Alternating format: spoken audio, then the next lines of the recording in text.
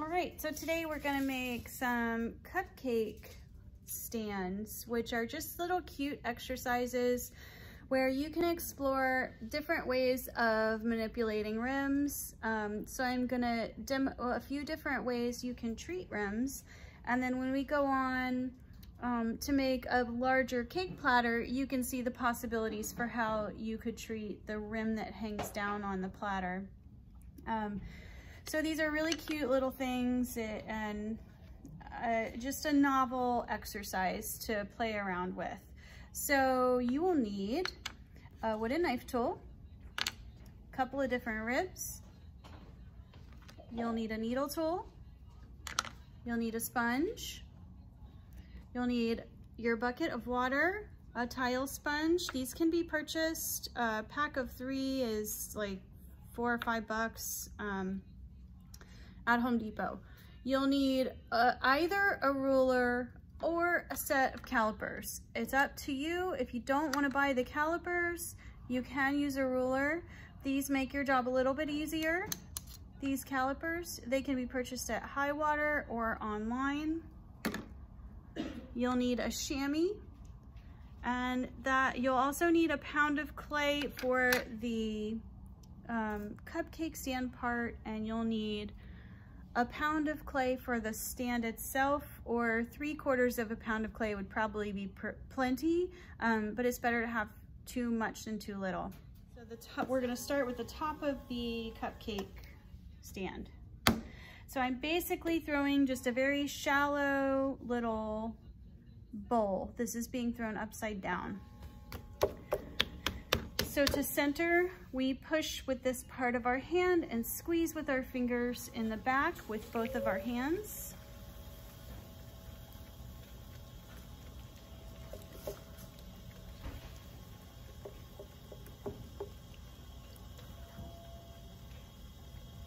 And then when we're coning down, you're coning down just off the side and not directly on the top because if I do this right on the top, flares out and you'll end up getting air trapped in down in here. You don't want that. So off to the side, just ever so slightly.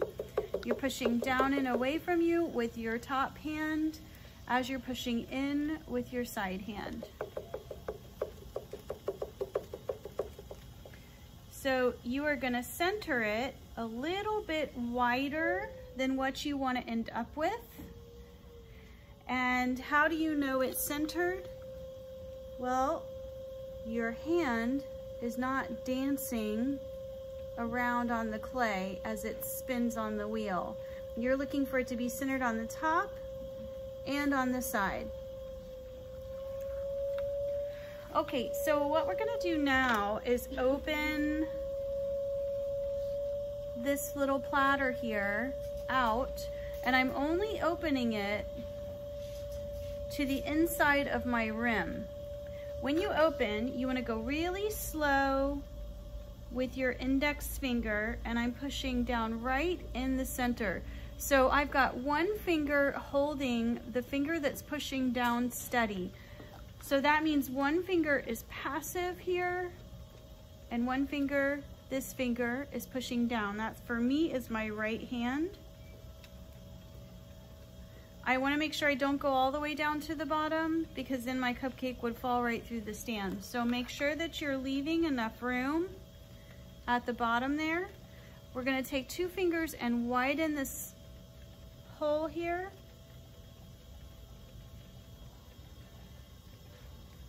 And that is so that I can get in there to pull out toward me.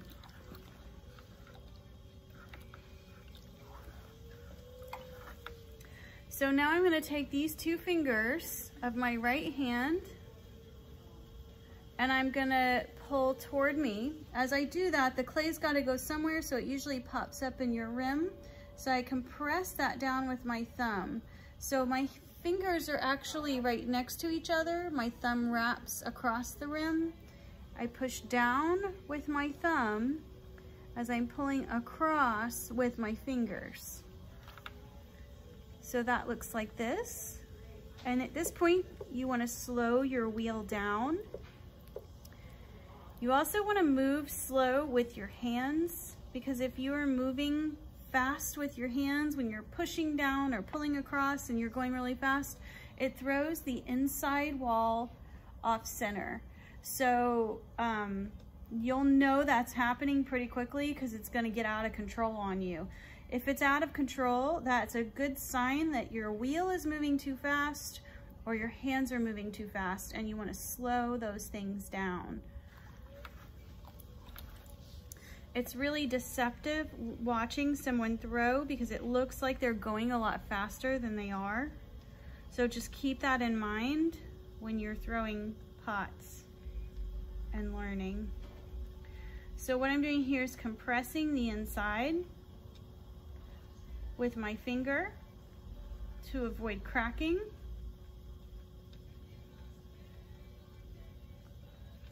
You can also use your sponge for that by just holding it to the right hand side of the middle of this disc or if you're throwing left-handed it's going to be to the left hand side. Okay, now we're gonna make this a little bit taller.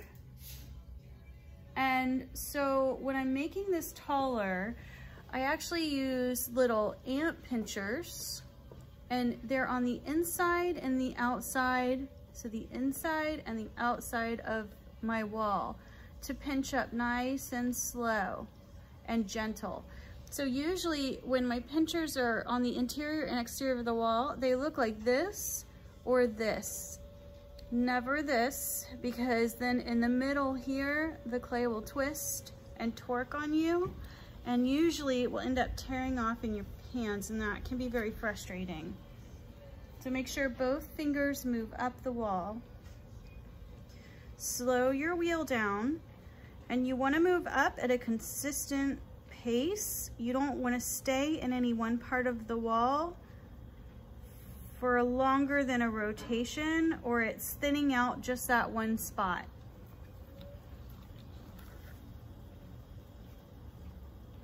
So we're gonna compress our rim, compress the inside, and then we'll do that until we get the height that we're looking for. For a pound of clay, probably about this high, depending on how thin you wanna make it. Remember that the thinner you make your pots, the more fragile they are after the fact.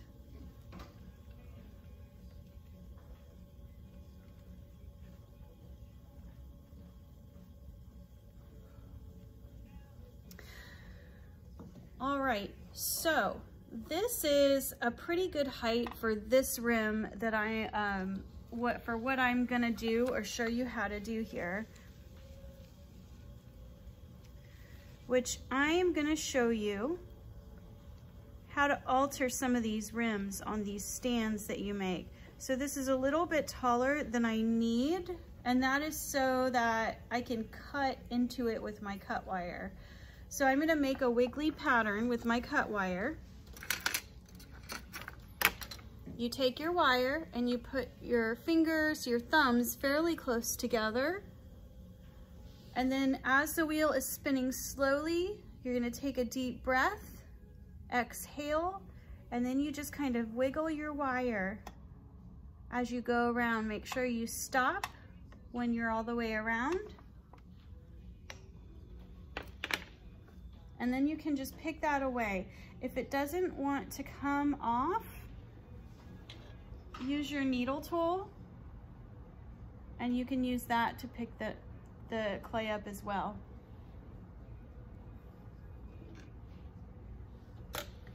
I'm gonna throw this just a little bit thinner.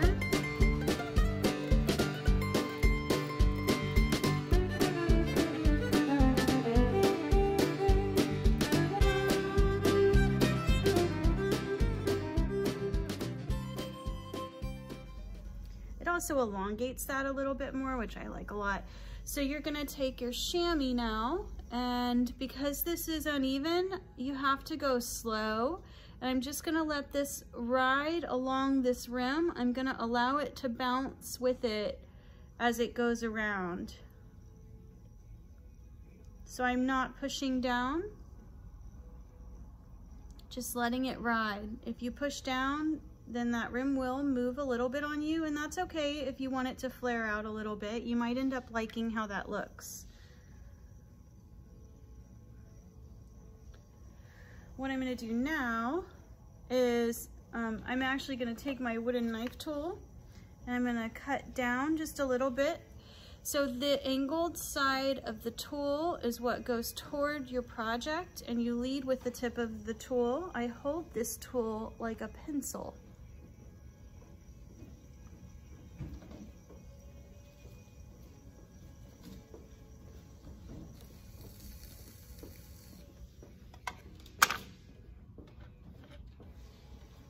And then we undercut that with our needle tool.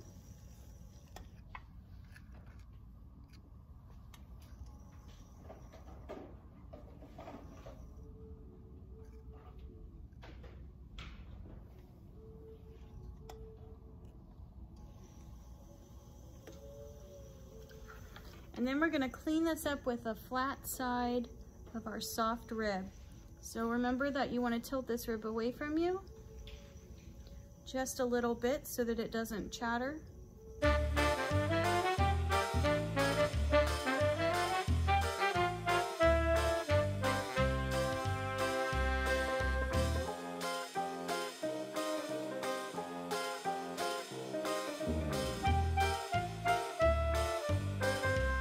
so that's one kind of shape for a cupcake stand.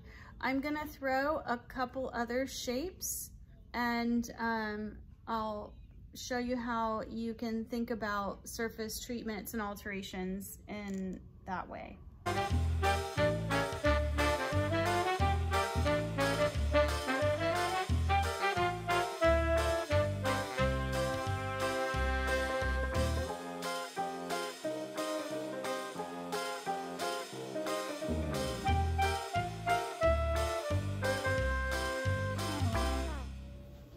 On this rim, what I'm gonna do is split the rim and scallop the edge.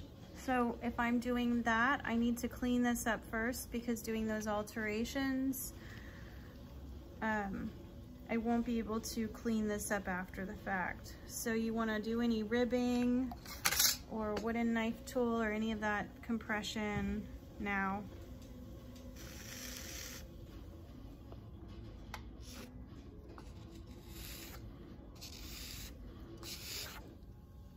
So when I split the rim, I want to clean off the slurry from the rim. I usually use a wooden knife tool. If there's another tool you're more comfortable with, you can do that. But I'm using the tip of this tool. I kind of lay it in between my thumb and index finger of my left hand, which is sitting on the rim and then I slow my wheel down. You need a rim that's chunky to do this. Let it go around a rotation and clean the tool off.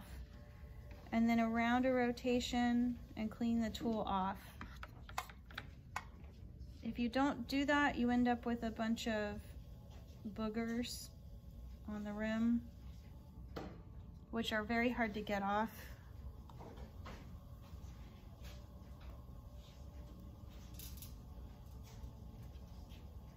And I like this tool because this angle pushes this out and allows me to get in with my chamois and clean up those ridges. So I'm taking the nail of my left index finger here and putting it right in the middle of that ridge. And then I do the opposite for the interior. And you can see that that kind of cleans those two things up.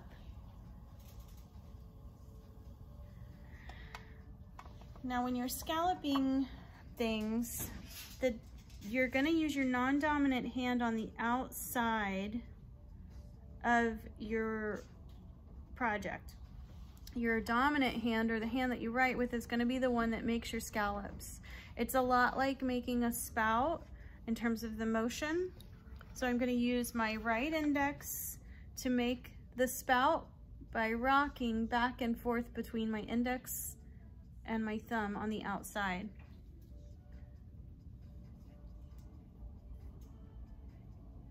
Like so. and then you're going to turn your project and you're gonna do that all the way around.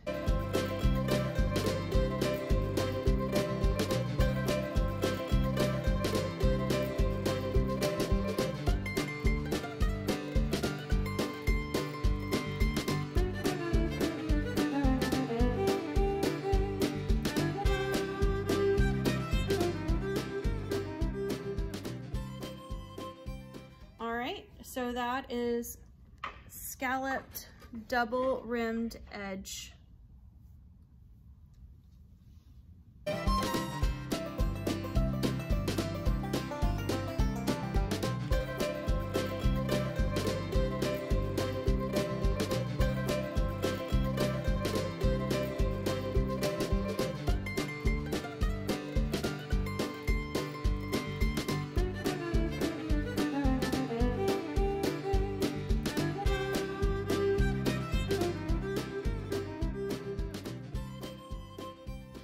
Okay, so now what I'm gonna do is I'm gonna section this off.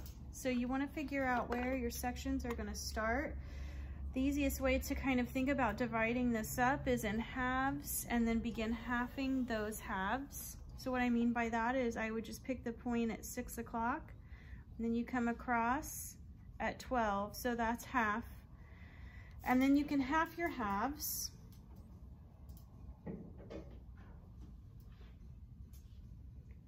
And then you can half those again.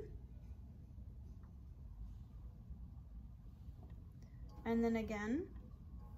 So you can get as many sections as you like and get real crazy with it and play around. This is a lot of fun on bowls and mugs.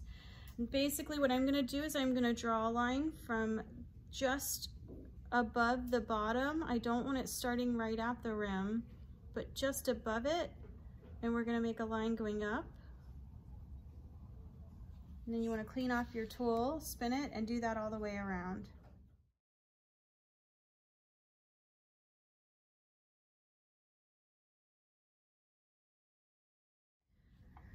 So then next you're gonna take and put little sprigs or buttons where your intersections are. So you wanna get some soft clay and you're gonna make a little worm.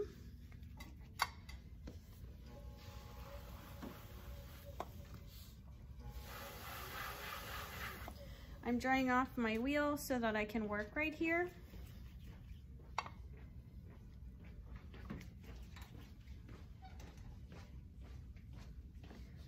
Because this is such a small object. I don't want a super fat worm. It would look kind of strange on this. So I'm getting this worm pretty, pretty thin.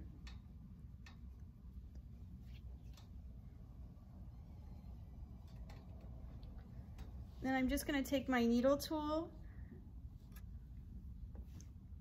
and chop that into sections. I'm eyeballing it, but if you wanna get super precise with it, you can.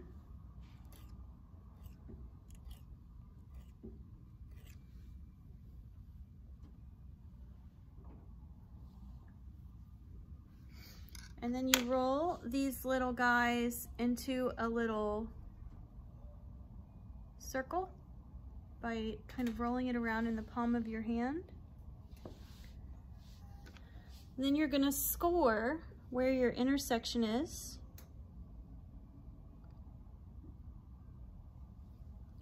And because this is so wet, and I don't really need any slip. So I'm gonna score this little button and then take my thumb and just kind of push that on there.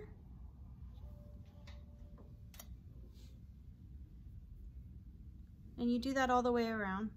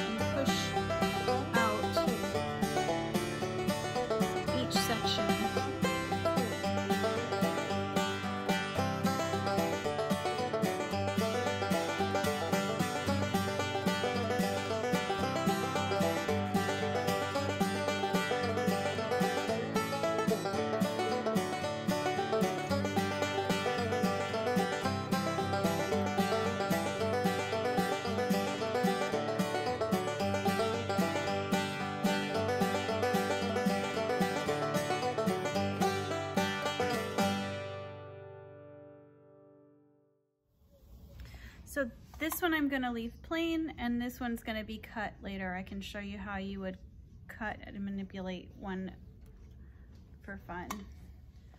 Another version of the tufted type of um, treatment is you can take your wooden knife tool. I'm taking this edge and kind of pushing into the center. So that looks like this. And I'm just gonna kind of start in the middle and then I'll go above and below. So I learned this technique from Jen Allen. Some of you were in her workshop, it was great. I'm just eyeballing these really. I just want them to kind of alternate a little.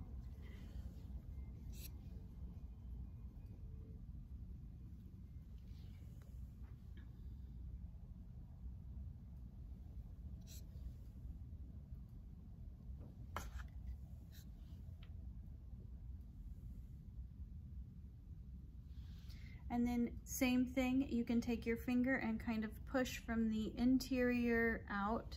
Your finger should be wet when you do this.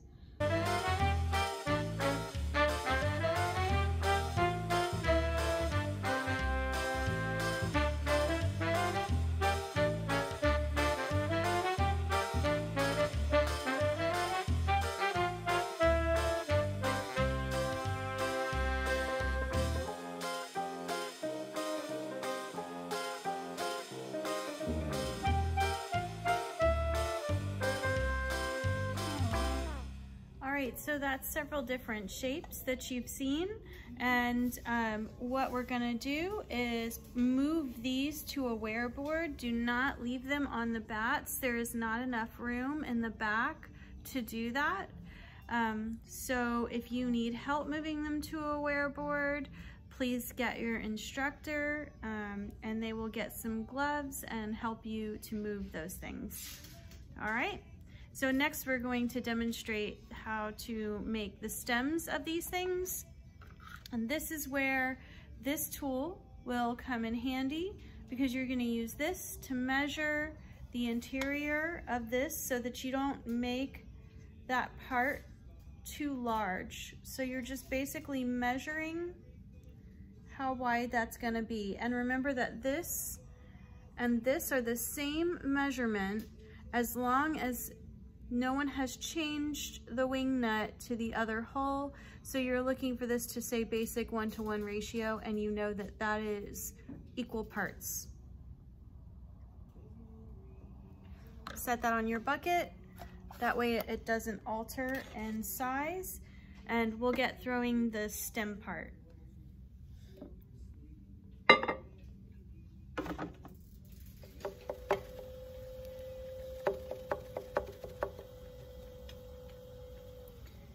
Okay, so we're making the stem and this was the interior measurement of the first one that I'm looking at, making a stem for. So I don't want it, I don't want the bottom to be a lot wider than this. So when you're centering, you need to start pretty close to where you're gonna end up. You can always trim it down a little bit, um, but you, if it's way too wide, you'll kind of be stuck there. So we're gonna open this all the way to the bat. You want to go really slow when you're opening with your hands.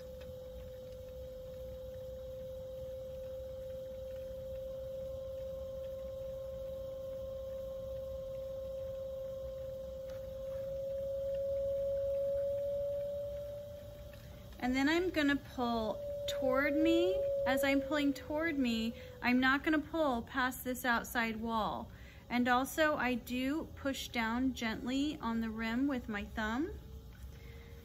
You have to go slow with this because there is no floor on this. It will want to come off the wheel if you pull it out past this outside wall here.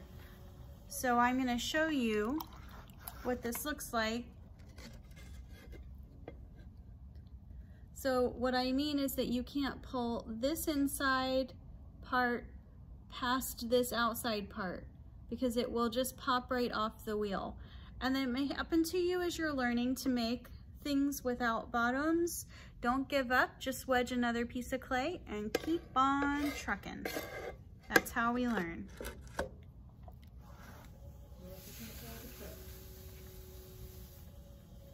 Unless what? Unless you can't drive a truck. Honk, honk. Okay, now what I'm gonna do is pull this up. So we're going straight up. They are gonna look tall, but you've gotta remember that if they're very short, they'll be very stout past the rim of what you've thrown. So it's okay that it looks tall.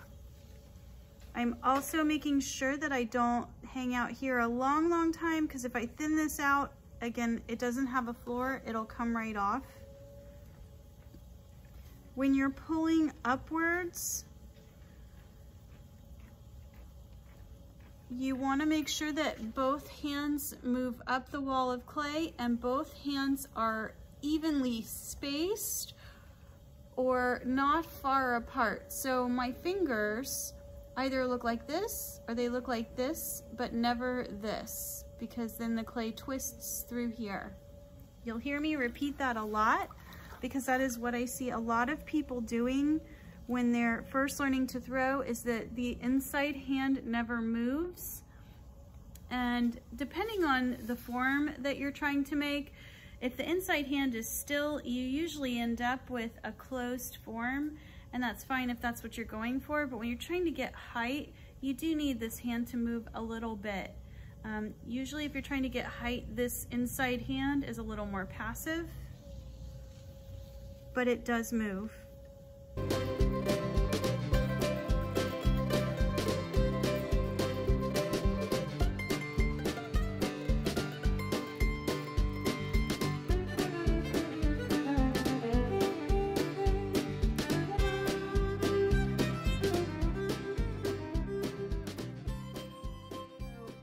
I have this very narrow, as it's holding up the stand that you put on top, it's gonna be very tipsy.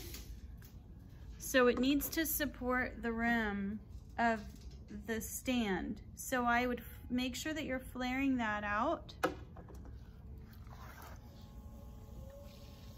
So you can flare that out a couple of different ways. The way that I'm gonna do it here is as I make my last pull, I'm gonna pull toward me or I'm using more pressure on the interior hand than I am on the exterior.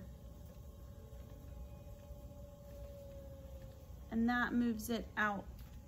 Then we're just gonna use our rib to clean everything up.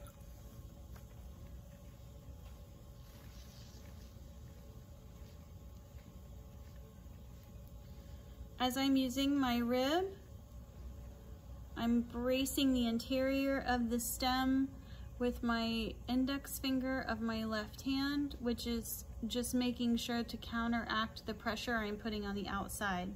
I also, if you don't, if you haven't noticed, I also connect my hands together so they are talking to each other.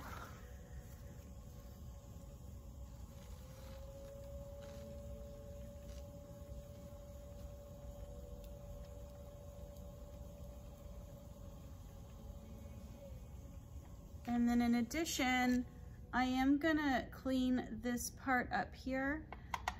So if you'll notice, it's pretty, let me do it on this side here so you can see. It's pretty tight in terms of the measurement.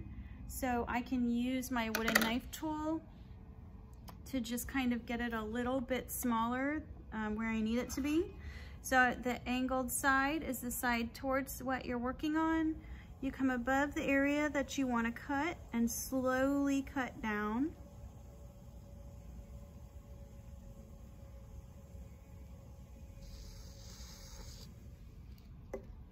And then you undercut that with a needle tool.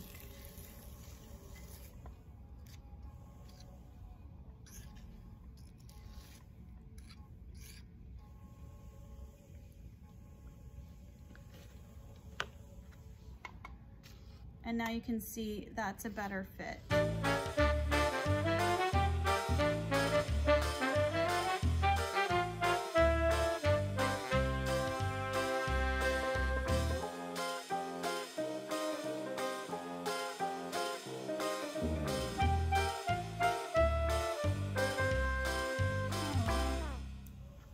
And then any soft edges, or any, excuse me, any sharp edges you're looking to correct, you wanna do that now. So if your rim is a hot dog, your chamois is a hot dog bun. And you wrap it around either side and let it ride. And that is the stem. So you let this set up because if I run a wire under it right now, it will alter this. Um, when you pull this off of the bat, because you cannot store these on bats, um, we don't have enough space again. So put them on your ware board that we've given you. Um, you can undercut this with a cut wire or uh, the better option would be to take a fettling knife or even a kitchen butter knife and undercut that as you spin it on your wheel. Because if you use a knife, it tends to stay in the round. Um, it's up to you. All right, and then we'll meet you back here next week when we trim and assemble. Thanks for sticking with me. Have a great day.